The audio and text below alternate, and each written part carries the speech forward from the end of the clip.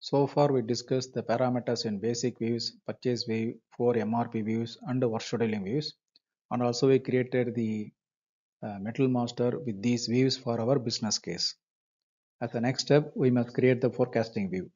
In this session, we will discuss various parameters in the forecasting view. Before going to the session, let us see the answers for the previous session's quiz. In what scenario production UIM will be maintained? So whenever the basic unit of measurement, for example, it may be in pieces, is different from the unit of measurement of production. The pieces, you know, during production it may be in cartons. Then the production unit of measurement will be used. Means the cartons will be filled as the production unit of measure. This is a normal thing, right? In many manufacturing industry, these kind of things are happening. Tolerances are maintained in the work scheduling view are the same that maintained in the purchasing view. No, the tolerances maintained in the purchasing view are used for the goods received from product purchase orders. Tolerances in the work scheduling view are used for goods received from production orders. What is the difference between the in-house production time maintained in MRP2 view and the work scheduling view? In-house production time in MRP2 view is lot size independent. The same in the work scheduling view is lot size dependent. So updating the in-house production in work scheduling view will give more accurate planning. What is the material status maintained in the work scheduling view? This is the plant specific material status. Plant specific material status is maintained in any of the views like sales view, purchase view, MRP view, and also in this work scheduling view, it applies the same for all the views. Is it mandatory to create work scheduling view for in-house production items? Yes, it is mandatory for in-house production items. Similarly, for purchasing view, for a purchasing items, purchasing view is mandatory. We uh, continue the course uh, with the discussion on the forecasting view. So far we created basic data 1 and basic data 2 views which are organization independent views. And then we discussed the purchasing view which is the plant specific. And then we created MRP views. They are the plant specific and store location specific and then work scheduling that is the plant specific. Now we are going to discuss the forecasting view in this session. Here we see the forecasting view details of the material. Depending on the material type, whether this view is required or not would have been configured in the material type. This one we discussed during the material type discussion. In forecasting view, we have the details like a general data where we select the forecast model or what is the loss forecast, what are the reference material, those kind of things. Then we have a section on number of periods required. Next, we have the control data parameters, whatever we need to carry out the forecast.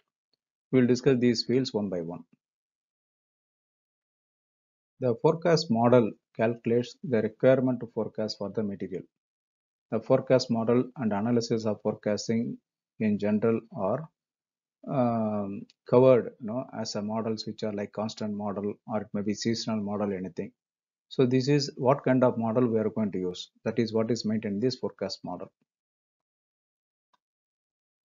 Period indicator field specifies what is the time period for which the consumption values for the uh, forecasting.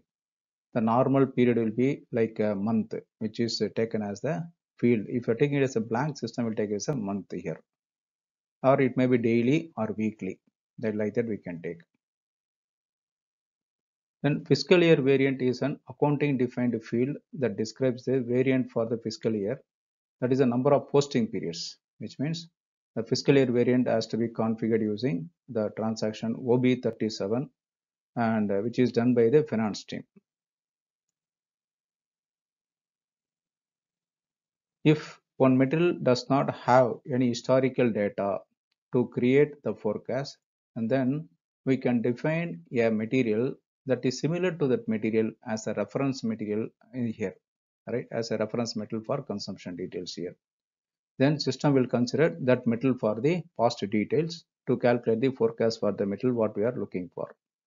Also we can enter here which is the reference plant we have to consider that also we can enter and how much period we have to take this period the metal as a reference. For example, we are taking a metal A now reference metal as B. So after six months, right? After six months, maybe would have got the uh, that same metal metal A itself may be having lot of uh, history there So then we can use the history of uh, metal A itself instead of having metal B. So that time we can stop it. So we can put that uh, six months date as the date here. So that is how these details are used. We discussed about the forecast model in the general section. Let me explain a few models and how to select a model to use in the forecasting. Forecast modeling is designed to aid in forecasting particular events. The forecast model is designed around the factors that are believed to be important to influence the future of the material. And also the past consumption of the metal are used to determine the future use. So here the various models are here. First let us discuss the constant model. A constant model assumes that the use of material is constant. Being constant does not mean that the use of metal is the same each week or each month, but the variation of the metal usage fluctuates a little and a constant. That means in the long term it is almost constant. Trend model. A trend model is used when there is an increase or decrease of material consumption or the usage. The trend may include the areas of movement away from the trend, but the overall uh, movement will follow some downward or upward trend. Seasonal model. Seasonal model affects many businesses due to weather, holidays, or vacations. A seasonal model is defined as a pattern that repeats for each period. For example, the annual se seasonal pattern as a cycle that is 12 periods long. The period are months. A seasonal model may apply to a company that makes like ice cream, which experiences greater demand in the summer period. This pattern is repeated each year. Seasonal trend model. The seasonal trend model is similar to seasonal model, except that instead of the same pattern occurring each period, the pattern is moving further away from the mean value. That is either it is increasing or decreasing. For example, when the population is increasing or the residential area number of houses are increasing, the demand for the ice cream may increase summer on summer. That is a seasonal increasing trend. Now, how to choose a model? See, we see that many models which are showing here in the figure. We see many models. I just told about four models. There are other things also there. But how to select a model? So if you don't know the how to select a model, then we can seek the help of SAP to analyze the past details and give some model in this. So for that, there is a forecast model J, the last one if you see the forecast model J, automatic model selection that will uh, work as a, like you know, selecting the model and give the details, but we have to revisit the system proposed and selected forecast model on a regular basis to ensure that the forecast is closely matching with the consumption details. Here the number of periods required, this tab is there where we are having the selections which is having what are the historical details, forecast period, etc. Start with the historical periods, the number of historical periods we need to have to calculate the forecast. If we keep this uh, blank as so this field as a blank, system will not take any periods for the past. Then the forecast periods. What is the number we enter in this forecast period? That is the number of periods for which the forecast has to be calculated. So for example, if you enter here for 10 months, system will calculate the forecast for 10 months here. And what is the period for season? This is used in seasonal forecast model to define number of periods per season. Then initialization uh, period for the uh, sorry number of periods for initialization this is used for the historical values that we want to be used for the forecast initialization. If initialization, period field is blank, no historical values are used to initialize the forecast. And then we have the fixed period. The fixed period field is used to avoid fluctuation in the forecast calculation because the production can no longer react to the changed planning figures, which means frequently we are having any period. So we can freeze a specific period. This is maybe called as a frozen period for which the forecast is fixed without any variation. This is very important in many areas. We cannot just keep on changing the forecast frequently. So maybe next one, two weeks, we should not change any forecast like that. We can fix it. Control data section. This is used for um, having some fixing some parameters like how to initiate the forecast, what is the tracking limit, what is the model selection, those kind of things. What is that uh, initialization? Initialization indicator, if the forecast has to be initiated by system or it has to be initiated manually, that is what is decided by this initiate initialization uh, field. And then we are having tracking limit. Tracking limit field holds a value that specifies the amount by which the forecast value may deviate from the actual value. This figure can be entered to three decimal places. Then reset forecast automatically indicator is selected. If you select this field, then system will reset if the tracking limit is exceeded. If my system will calculate the tracking limit, if the value is uh, more than that, then system will reset it. And then how the model has to be selected, model selection. This field is only active if the user did not enter a value in the forecast model field. Know, the first uh, section, no, general data, where we did not enter forecast model means then system will automatically generate, I mean, create the forecast model based on the details what we have. And uh, model selection field can be set to one of the values like examine the trend, examine seasonal fluctuation, or examine the trend and seasonal fluctuation. Like that, we can fix the details accordingly. System will select. And then what is the uh, the uh, correction factors? So here the system will decide what are the things which has to be included as part of the correction factor in the forecast. And then we have the selection procedure. Selection procedure is when the system is allowed to select the forecast model, the procedure is entered here, how it has to be selected, this kind of selection procedure. This is where that selection procedure is given that the procedure performs significant test to find the best seasonal trend pattern or it has to select the forecast for all models and then select the model with a smaller mean observed deviation. See, all these points are related to like kind of some statistical things.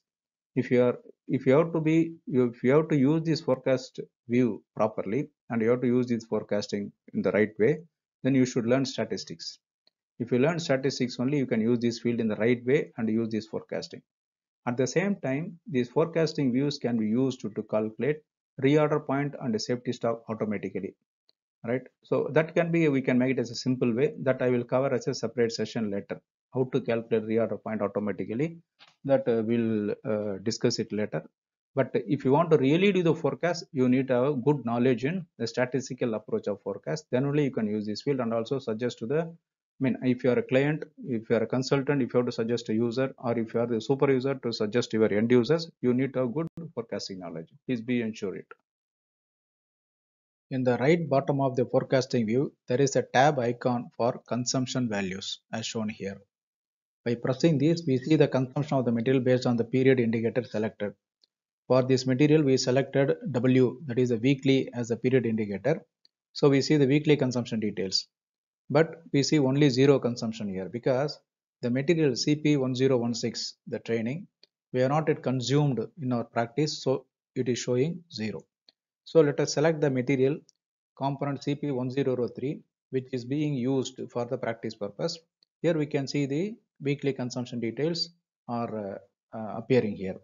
So details of the two columns of consumption and how to use them we will be discussing them during the later session Uh, we will be working on the forecasting and also automatic reorder point calculation. At that time, we'll discuss these columns for the details. You may remember the consumption details that were discussed during the basic data views as part of the additional data tab. Now let us go to the same place, additional data, basic consumption values. We see the same values. So the consumption value updated in the additional data tab is the same. We reach through the forecasting view also. So they are not different. What we are approaching from forecasting view, what we reach from the additional data, their consumption, both are same. So now let us see the creation of forecasting view for the material. So now let us take uh, one material through MM01. Any metal view extension is through MM01. So let us select S002 CP1001 so now we have to create this forecasting view so we'll go and select the forecasting view set the default it's already default is set and enter we'll press enter and uh, the organization details are already selected there enter go inside so because already there up to mrp4 are there now we are in the forecasting view as usual to have some reference, let us see the respective TRNG material. So slash OMM03, we'll go and see the TRNG material. Okay. So here the TRNG CP101. So let us go and see the forecasting view of that material.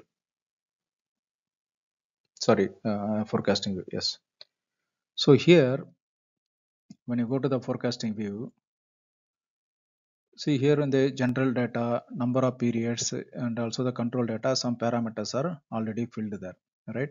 say the forecast period is, is a model is shown as D. D is a constant model. Okay, let's put the F4 and see that it is a D constant model. First, let us go to the simple method only, right? Constant model. Other details, you know, the period indicator W is coming from MRP3. We don't need to fill. The other periods, the max, the minimum period, those things are coming as a default because they were set as per the uh, parameters already uh, defined in the master data. So they are appearing there. So we just uh, save this and uh, come out. So like this forecasting is selected. But as I told you earlier during the work scheduling view, whatever the view we are creating for each view, the each field, use that F1 help, go through the each field definitions and understand them. Later, every field or maximum fields will try to use them with different scenarios. Now, just for explanation, I'm going through them to meet the basic processes. In this session, we discussed uh, various parameters involved in the forecasting view, like uh, forecasting model selection, the periods which are involved in forecast model selection, what are the control parameters we need. As I told, we should be knowing the statistical calculations under statistical methods to use this forecasting view in the right way. Now let us see some quiz questions for this session. Forecast for a material cannot be calculated if there is no past data for the material, true or false. Can we select number of periods to be considered in the past to arrive at the forecast? And forecasting model can be selected manually only, true or false. So I am asking some basic uh, queries only because basic quizzes only, because this is just for you to refresh the uh, the knowledge we gained here. So assignment for this uh, session is create the uh, forecasting view until forecasting view for the materials in the uh, business case. Please refer to the TRNG materials when you are creating the materials because when you follow the processes, it will be helpful for you to uh, to find out any problem if it is there. After understanding the various parameters in the forecasting view, we will discuss the parameters in the plant store location views in the next session. Create all the views until forecasting view for the materials as per the business case. Whether if there is any clarification you need, please put them into the comment section of this our uh, sessions. I will be clarifying them then and there. If you would like to practice the session along with me with the dedicated server, uh, write to me in this email info at wegrowin.com. Meanwhile, suggest your friends and colleagues to subscribe to the channel so they also get the benefit of this knowledge sharing session. Thank you. See you in the next session. Take care. Bye.